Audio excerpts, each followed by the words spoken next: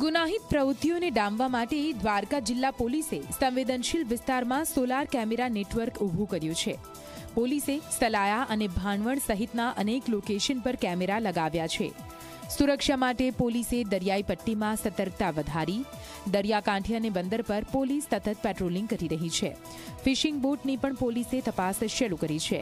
Police ખાતાના ઉચ્ચ અધિકારી આ કેમેરાનું મોનિટરિંગ કરશે અને સીસીટીવીની મદદથી દરિયાઈ વિસ્તારમાં નજર રાખશે.